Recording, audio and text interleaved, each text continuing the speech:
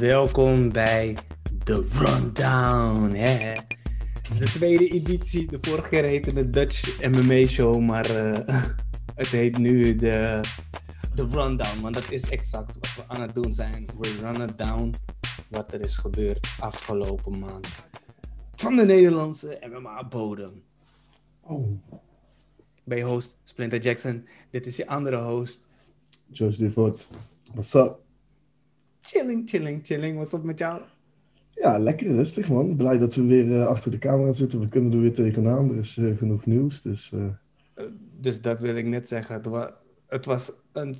We hebben dit al zo vaak hebben we dit gezegd, maar nu geldt het weer. Dat je denkt van, oh Nederlandse bodem, het is kapot rustig man, we horen niks. En toch elke dag sturen we berichtjes naar elkaar van, yo shit man, dit is weer een fight announcement. Yo, wow, dit is weer gecanceld. Yo, dit is er weer bij. Oh, yo, yo, yo, yo. Ja man. Er gebeurt veel. Ja, het is elke keer ook gewoon van die clusters, zeg maar, weet je wel. Zeg maar, mm. zo'n pimp, zo'n pimp class.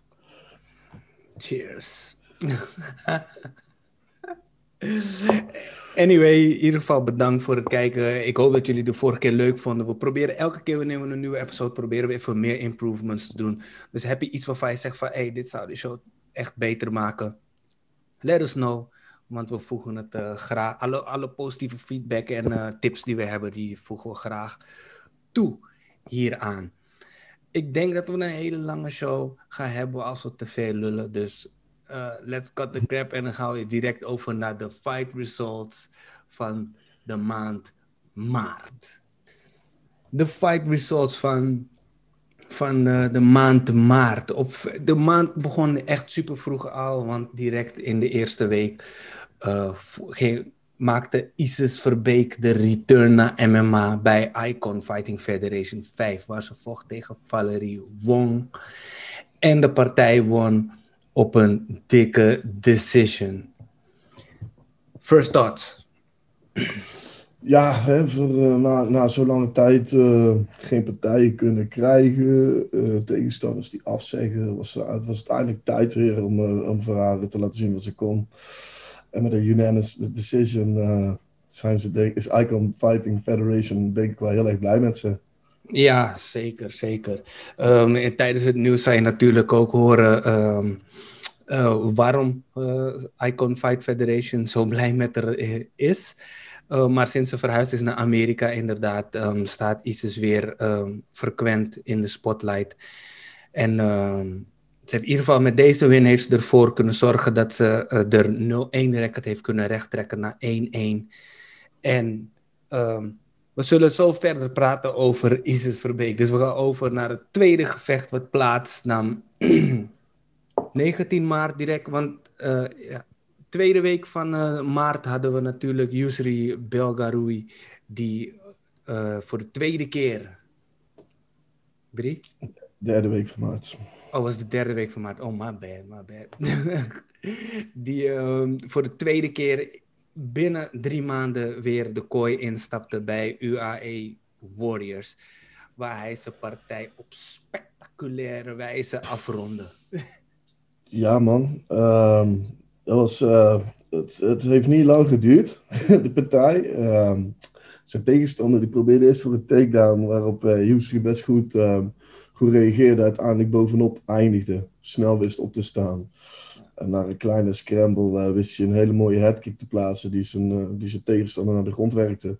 En hij heeft het, het afgemaakt met, met, met zuivere ground and pound. Ik bedoel, ehm, eerste ronde, een paar minuutjes die heeft wel wat hoge ogen getrokken daar. En je ziet ook wel dat zijn transitie van het kickboksen naar, naar het MMA, dat hij het wel serieus neemt inderdaad. Want kom, kom jij zeg maar zo van het kickboksen af, dan had je die takedown, was je waarschijnlijk zeg maar onderop land. En uh, hij wist heel goed hoe hij zijn, zijn gewicht en zo moest gebruiken. Ik denk dat we blij mogen zijn als we hem weer een keer mogen zien. Ik, ik denk dat het een hele goede overstap is voor hem. Ja, zeker. Nee, hij laat inderdaad um, gewoon zien dat hij die switch gewoon super goed maakt. Um, twee wins. En uh, die UAE Warriors, die neemt het ook niet rustig met hem. Want ze zetten gewoon twee grapplers. De eerste keer was een Sambo champ ook tegenover hem. Dat, dat ik dacht van, oeh, gaan ze direct een Sambo champ zetten tegenover hem? En dan pakt hij gewoon die unanimous decision. Hij wist gewoon, ehm, gewoon ook gewoon die takedowns tegen te houden. Laat hij nu ook weer zien dat hij gewoon daar goed aan werkt. Dus ja, de boys waar hij mee werkt hier in ehm, Nederland, die, uh, die weten deze man wel even goed te leren hoe hij uh, deze switch kan maken. zeker man. Ik, uh, ik, kan, ik kan niet wachten om hem weer te zien. Ik, het zal waarschijnlijk wel weer bij UAE Warriors zijn. Wat, wat ook wel een connectie heeft, zeg maar, hè, met, met, met de UFC inderdaad. Ja. Um, van, van zijn kickbox racket en dan nou 2-0 staan in zijn, in zijn MMA, in zijn MMA-carrière. Ik denk dat we best wel wat kunnen verwachten van deze jongen. Ja, zeker. Um, daarna vocht uh, Aki Sardari um, voor de eerste keer om zijn titel te verdedigen bij Cage Warriors. Om het, hij ging de eerste keer, voor de eerste keer zijn titel verdedigen tegen Donovan Desmay, de Belg, die als short notice replacement um, ook nog instapte om te vechten. Het was een split decision. Dit was de tweede split decision voor Aggie in uh, Cage Warriors. Hij liet zelf tijd na, in het interview na de partij liet hij wel weten dat hij um, disappointed was met zijn performance. Omdat hij wel echt wilde laten zien wat hij kon en hoe hij gegroeid was.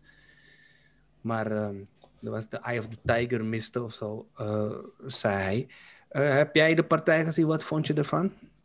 Ik heb uh, gedeeltes inderdaad gezien, ja. Ik, ja het, ging, het ging best wel gelijk op. En ik denk dat, dat Aggie de partij zeg maar, naar zich toegetrokken heeft in de laatste, in de laatste ronde.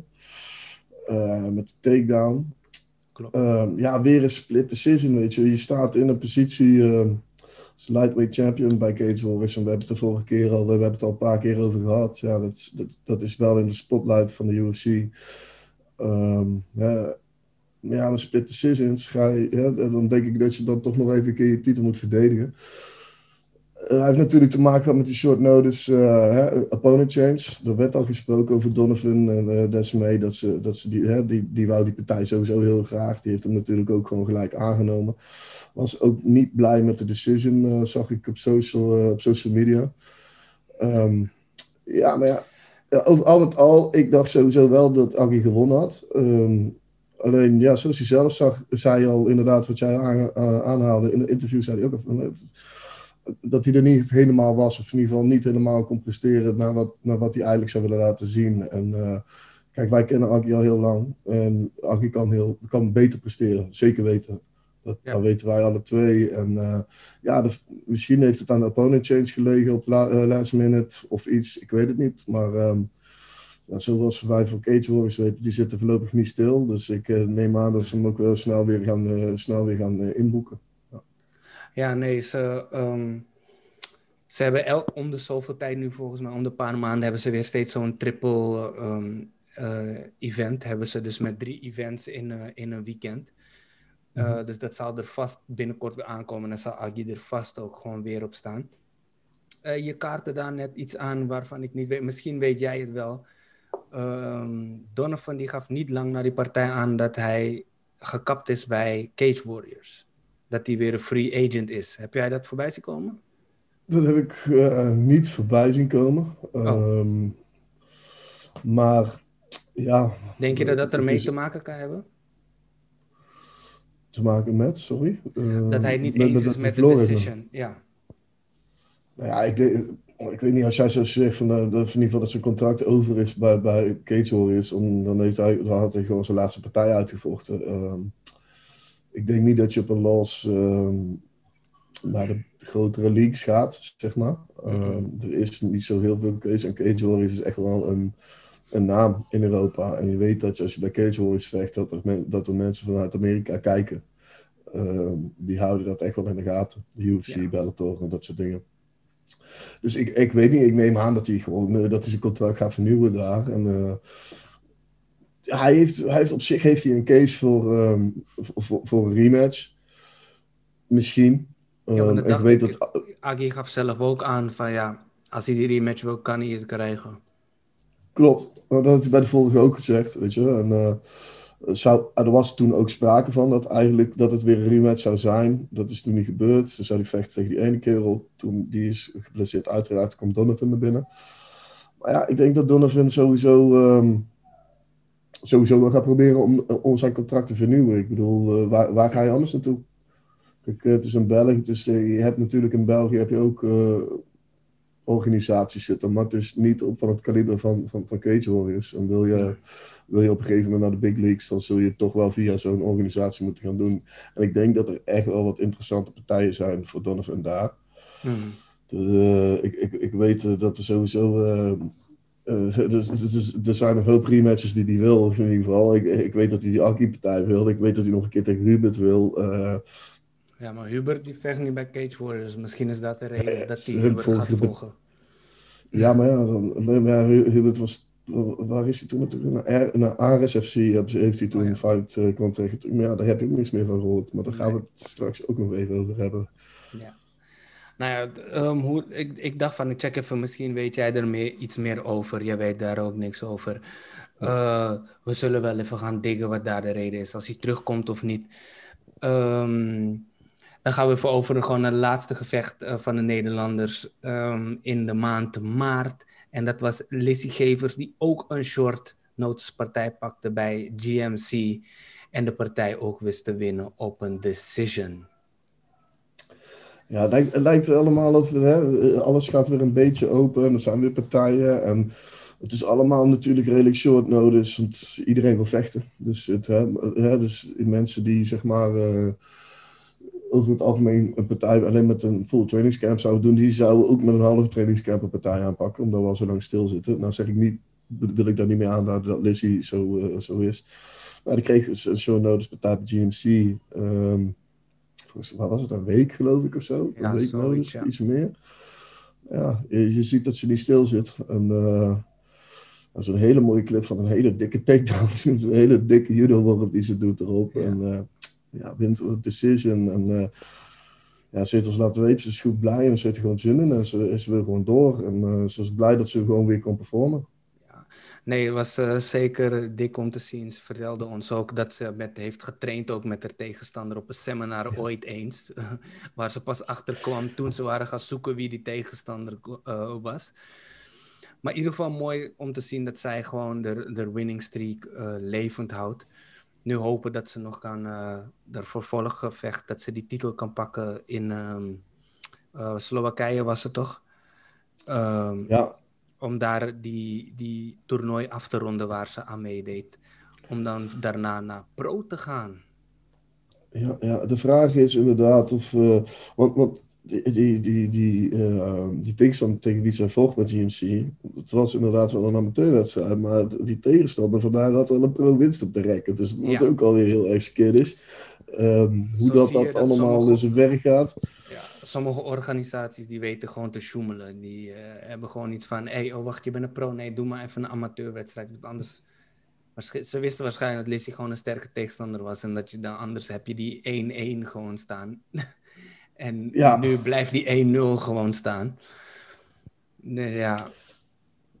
Ja, nee, sowieso. Maar dat zegt ook, dat zegt natuurlijk inderdaad meer over de skills van Lizzie dan dat het over, die, over, over ja. haar tegenstander doen. Um, alleen, ja, het, ik, ik vind het toch een vaag verhaal, weet je. Ja. hoe, hoe dan? Hoe, hoe ga je ermee wegkomen? Ik bedoel, ja. Ze is ermee weggekomen en Lizzie heeft in ieder geval die win. Het staat op beeld, het staat op onze website, dus it's captured for life. Het staat van, uh, ja, volgens mij staat het zelfs pseudo.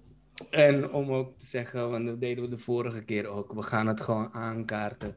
De Nederlanders die hebben deze maand hebben gevochten, hebben allemaal gewonnen. 4-0 voor Nederland. Oh yeah. Er zijn natuurlijk niet alleen gevechten geweest uh, in de maand maart, maar er is veel meer nieuws geweest. Heel veel uh, fight announcements, een paar cancellations ertussen. Maar voordat we daarop overgaan, wil ik jullie allemaal te vragen om eventjes te gaan naar YouTube. Klik op die subscribe button van Dutch Fight Network. Like de video's, want we hebben een nieuwe segment gestart.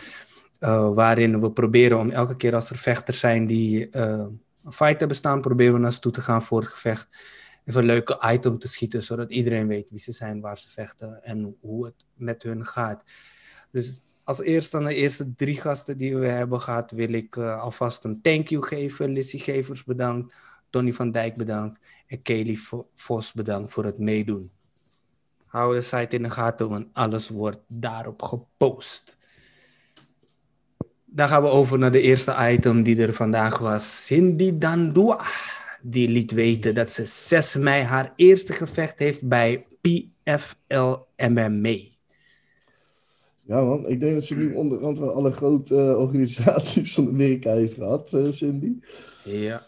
Uh, eh, UFC, Invicta, Bellator, ja, en dan nou PFL. PFL. Ja.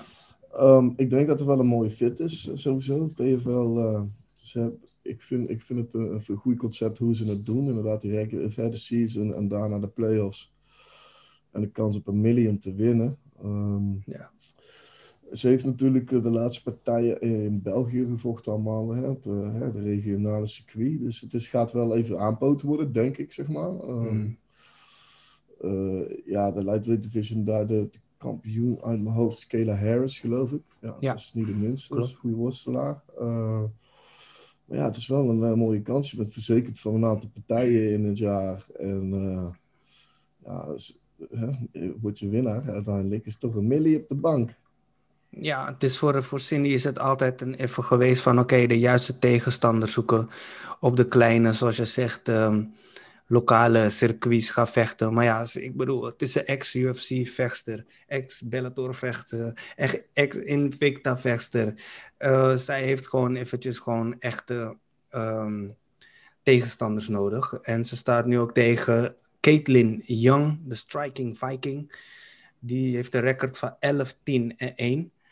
Um, dus ja, eh, we gaan kijken wat zij kan doen. En dit, is, dit is een vechter met eh, heel wat ervaring. Dus, en dat heeft iemand als Cindy nodig. Ja. Dus uh, ik ben benieuwd wat dat gaat uh, daarmee gaat gebeuren. 6 mei is het gevecht van PFL. Het seizoen begint in april. Uh, dus ja, dit is voor mijzelf ook, zeg ik eerlijk, de eerste keer dat ik ook echt PFL gewoon ga kijken. Want ik vind de format vind ik, vind ik echt amazing. Ik vind dat dat de manier is hoe je vechters moet bouwen. Het is ook gewoon op ESPN wordt het uitgezonden. Dus ik ga, ik ga zeker dit seizoen volgen om te zien uh, wat hun allemaal hebben daar zo. Ze hebben sowieso wel een paar opmerkelijke signings gedaan. Uh, Ja, daar, daarom ook.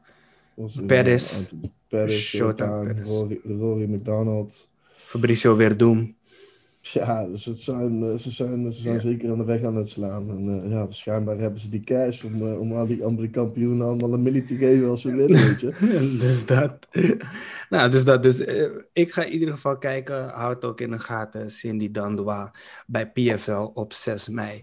Er is nog een, een Belgische vechter die gaat vechten in mei, de volgende dag 7 mei. En dat is Gokhan Sarikam liet hij weten via zijn Instagram. Helaas heeft hij niet laten weten wie zijn tegenstander is. Dus daar gaan wij nog eventjes naartoe graven, zodat we uh, die info kunnen geven. Hij vertelde ons op de podcast vorig jaar dat hij willing was om diezelfde maand weer de kooi in te, vacht, uh, te stappen.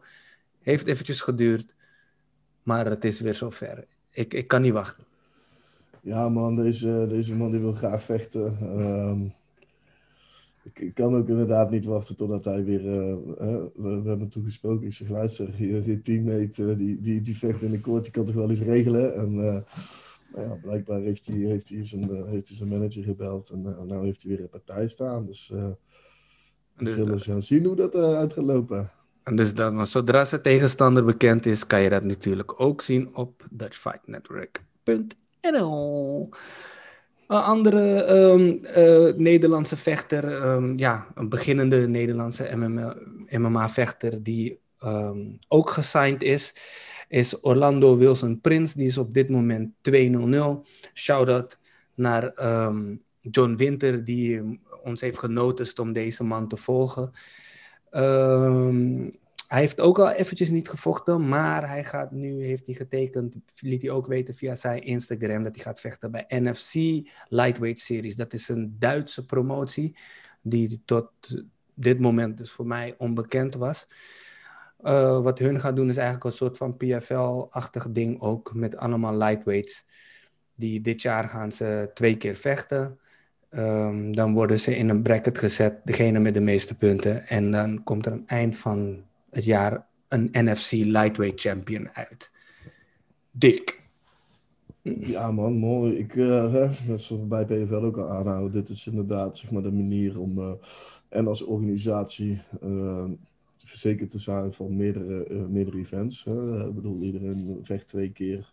Dus je kan er ook vanuit gaan dat iedereen, iedereen twee keer kan inschedulen.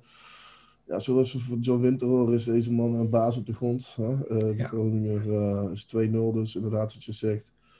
Ik denk zoals we horen, moeten we hem in de gaten gaan houden, man. Dus ik, ik ben blij dat, dat ze aan de gang gaan. Volgens mij beginnen ze op 22 mei.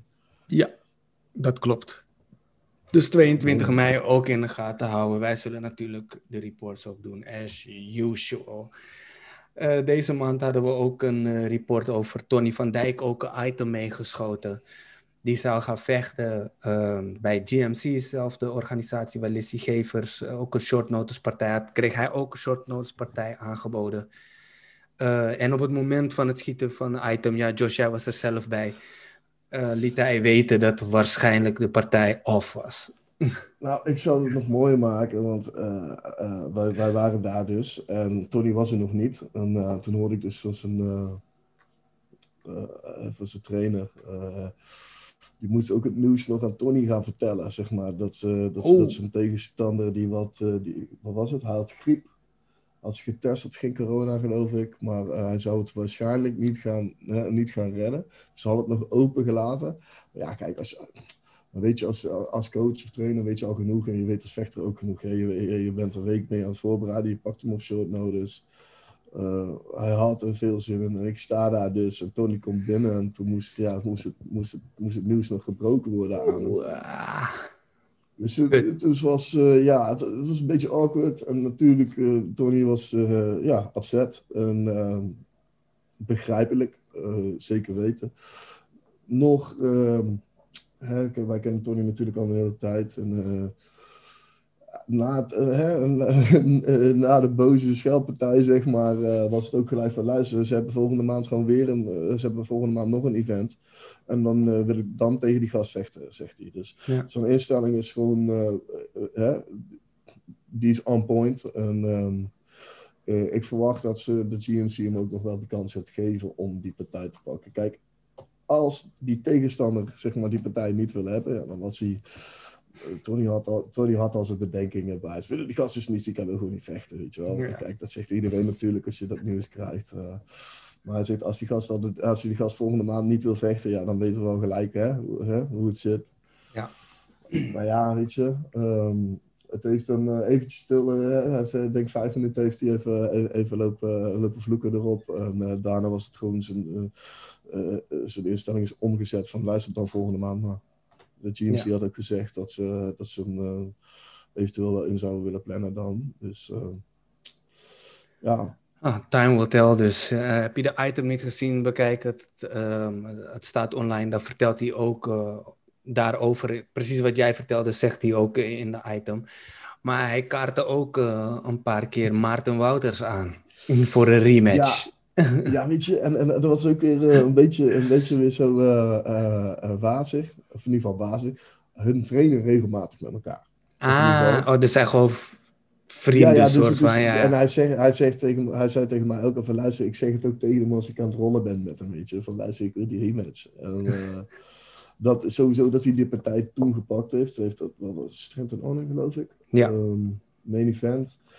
Uh, uh, qua qua um, ervaring stond, stond Tony, Tony, natuurlijk helemaal achteraan. Ik bedoel, Tony is ja, beginnend uh, pro. Ja, beginnend misschien niet, wat langer. Alleen Maarten Wouters is echt wel een redelijke veteraan, zeg maar. En, uh, ik denk twee, drie keer misschien meer partijen heeft gedraaid als Tony. Dus uh, Tony die stond er wel. En hij zou heel graag die partij nog een keer willen hebben. En hij heeft wel echt wel meerdere malen duidelijk gemaakt van met alle respect. Maar ik zou ja, ja, die partij gewoon nog een keer terug willen hebben. En ik zou zeggen van luister, die man die wil het. Er is iemand die gaat daarop inspelen. Heel simpel. Er is één organisatie en die gaat daarop inspelen. Ik weet niet welke het is, maar kom op jongens. Dus, uh, dus, hier hebben jullie een, een, een koppertje, krijgen jullie hier zo. Ja, ja Eén koppertje. Fight van ons gewoon. Hoppa. Er zijn dan weer geen De matchmakers zijn weer terug. De matchmakers van ja, precies, snap je? Doe het, zet de shit op. Nou ja.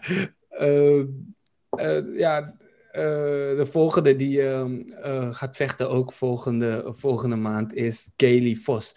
Die, het lijkt net alsof de matchmakers allemaal ineens horen van... Hé hey jongens, deze, deze mensen die staan allemaal te wachten hier zo. Kaylee Vos die eh, gaat in Polen weer vechten bij de IFM-show. Ehm, ze gaat het opnemen te- tegen Magdalena Loska, die haar debuut gaat maken. Ik ben even gaan opzoeken wie die Magdalena Loska was. Is iemand die een BJJ-champ is. Echt gewoon allemaal BJJ-toernooien over de wereld eh, gewoon wint. Dus een dikke grondvechter. En ik zie dat ze ook heel zeer regelmatig traint met Joanna Janjacek. Ehm dus is zeker niet de minste tegenover wie Kaylee komt te staan. Eh, ja, Kaylee die, die verloor de laatste partij ook in Polen.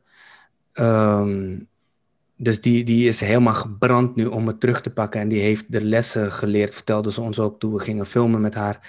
Die heeft haar lessen daarvan geleerd en die is gebrand om gewoon die record weer recht te trekken.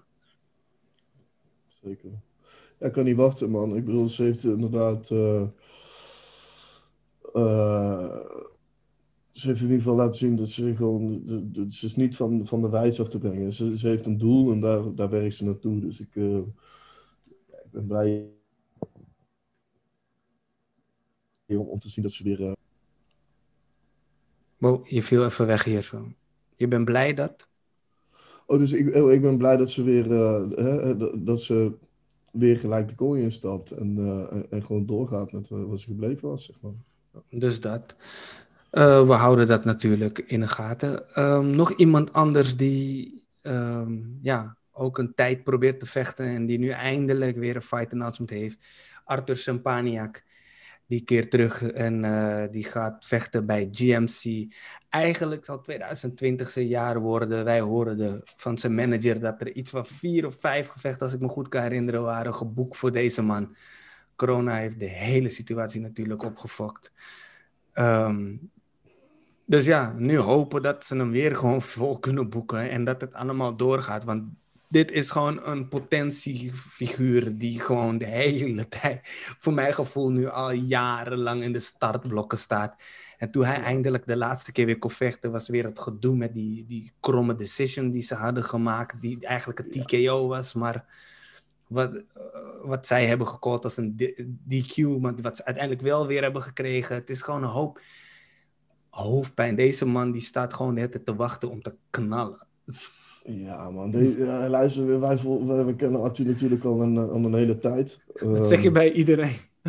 Ja, nee, ja, maar dat is toch. Ik bedoel, Ja, wij- eh, op- Ja, onze eerste WFL die wij, die wij zeg maar gematchmade hebben, wij hem, eh, hebben hem leren kennen.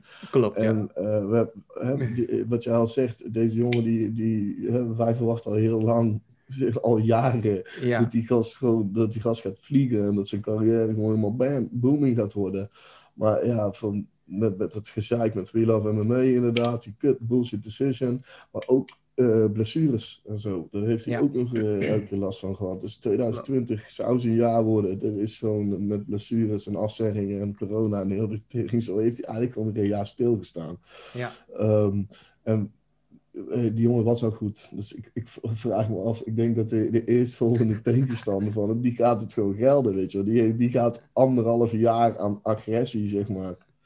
Over zich heen Ja, krijgen. ja. Dus, ik, dus ik denk, eh Steve, Stefan Jansen, eh, ja, Ja. hm. het is ook Ja. overigens niet de minste gozer, hè. Ik bedoel, Arthur is eh 5-1, Stefan Jansen 7-1. Ja. Maar die volgens zijn laatste partij in 2018. Ja. Dus die heeft nog wel langer stilgestaan. Klopt. Nee, maar eh, we gaan in ieder geval twee jongens die, die blijkbaar in de startblokken st- staan. En ze gaan dus keihard knallen ehm, in, op 24 april bij GMC. Oh. Nog iemand die van knallen houdt. En dat is iemand die de vorige keer in een street fight ging knallen. die gaat ook vechten in Duitsland. Niemand minder dan Ruud Destroy Vernooy. Ja, man. Ik, eh, ook weer zo. Ja, ja, er is natuurlijk wat controversial shit geweest inderdaad de laatste tijd. Um, Controversial? Ja, daar is, ik bedoel, heel vechtsportautoriteit en alles Ja. is erbij gekomen. Ze hebben hem ge- ge- geschorst. En hij heeft gevochten, super gruwelijke naam ook, Kots. Ja, kot. Ki- King of the Streets, ja, Ja. Kots dus. Ehm, een illegale promotie, of een illegale promotie. Ehm, ze hebben er redelijk, van wat Ze doen hun best om het illegaal te laten lijken, begrijp ik. Ja, misschien dat het dadelijk gaat. Kijk, het zijn geen sanctioned fights. Snap je? Maar Hmm. er, is wel, er zijn wel medics bij. En er zijn?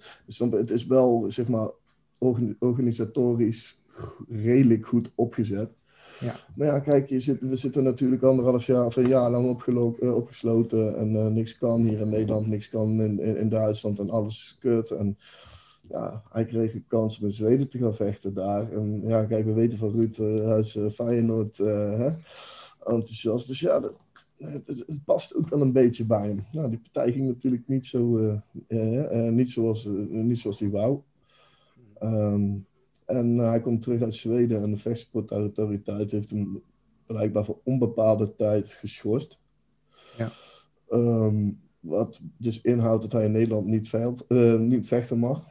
En wanneer dat wel weer mag, dat, eh, eh, ja, dat is nog maar de vraag. Ehm, maar ja, nou, weet je wat hij dan doet? Dan pakt hij een partij aan in Duitsland, toch? Ja. Ja, klopt. En gelijk heeft hij. En daar gaat hij vechten tegen Kasim Aras. Eh, die is 5-1. Ehm, eh, het is me opgevallen de, op de socials dat er heel veel Nederlandse vechters deze man ook kennen. En blijkbaar met hem getraind hebben. Dus ik ben zeer benieuwd naar wat eh, hier gaat gebeuren. Ja, ja het, ziet er, het ziet er wel uit. Het is echt een huge, eh, een huge gozer inderdaad. Maar ja, we weten, Ruud van Nooy is ook niet de kleinste natuurlijk. Nee. Ehm, ja, ik, ben, weet je, ik ben al lang blij dat die jongen, weer, gewoon- of, eh, dat die jongen gewoon nog door kan gaan. Ik bedoel, zo'n schorsing. Ja. Ten eerste, hij, hij, hij vecht in Zweden. Wat de fuck heeft de Nederlandse vechtsportautoriteit daarover te zeggen? Niks. Klopt. Vind ik dan. Dat is, maar dat is, menings, dat, is, dat is meningsgebonden natuurlijk. Ehm, maar ja, kijk. eh, Die mensen worden ook allemaal ouder, snap je? Je, hebt- Mhm. je, hebt, je, hebt een, je hebt een kleine window om, om, te kunnen laten zien Ja. wat je doet, weet je. En, en, en nou is het in Nederland qua maatregelen toch wel moeilijk en, om, om, om een gevecht te krijgen. Ik ben blij dat hij in Duitsland kan gaan vechten en, eh, en dat hij gewoon weer aan de gang kan. Want dat is, het is ook niet de jongste, volgens mij. In ieder geval, dit, zijn- dit zijn de precious years, jongen. Iedereen is een jaar, anderhalf kwijt, weet je. Dat zijn echt Ja. de jaren waarin je, waarin je heel veel ervaring Wil moet shinen. doen. Ja, precies. Ja, klopt. Eh, nee, wij houden het sowieso in de gaten. Er staat sowieso een datum dat wij ook met Ruud een item gaan filmen. Dus die kan je binnenkort ook op je beeldscherm verwachten. Wie weer op je beeldscherm komt, we houden het vanochtend ook alweer. ehm of va- vanochtend, wat zeg ik nou? Aan het begin van de video ook over hebben gehad. eh, is Isis Verbeek. Die staat weer bij de volgende ehm, evenement van Icon Fighting Federation. Ze volgde vorige keer bij vijf, nu vecht ze bij zes. En dat is iets minder dan een maand eh, later dat ze vecht. Dus die stapt gewoon direct weer de cage in. Ja, man, ik, ik, ik, ik zei al inderdaad, hè, de organisatie is eh, dermate blij met eh, dat ze ze, zeg maar, de volgende event weer eh, hebben uitgenodigd. Ja, Dit zal niet in Amerika zijn, het zal in eh, Sinaloa, Mexico zijn. Mensen die zullen Sinaloa wel kennen van eh, de serie Narcos waarschijnlijk.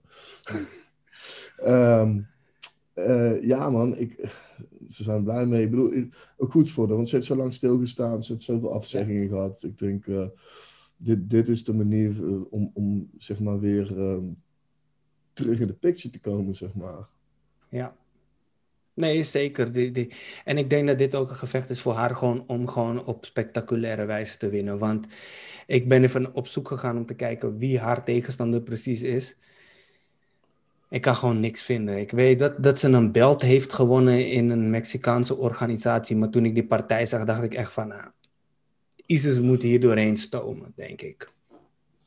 Ja, man, ik, inderdaad. de- ik denk sowieso dat, eh, dat ze er doorheen moet zomen. Ik bedoel, we weten, alle, we weten gewoon dat eh, haar stand-up gaat. Er zullen, er zullen weinig dames zijn die meer, betere stand-up hebben, eh, heeft dan, dan Isis zelf. Dus Ja, ik, eh, ja, ik verwacht ook de grootste dingen. En ik denk dat Icon Fighting eh, Federation ook, die, die heeft ook gezien. Ja.